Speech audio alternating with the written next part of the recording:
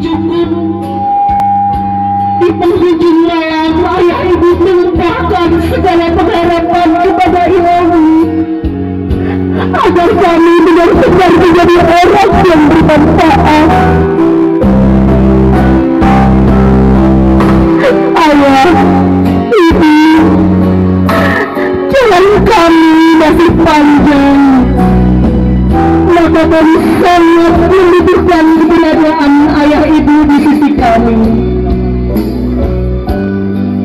sangat membutuhkan belayan lembut ayah dan ibu. Kami sangat membutuhkan doa doa ayah ibu. Ayah ibu maafkan kami. Maafkan segala perilaku dan pola nakal dari kami. Maaf ayah.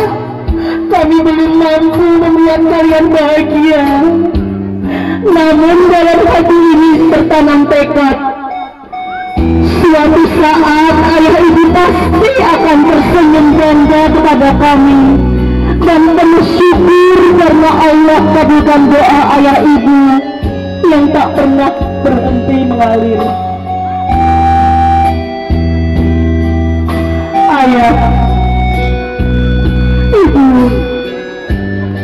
Saat ini kami baru mampu lantunkan doa. Rabbi firli wal saya, warhamhumma kama rabbayani sogiro.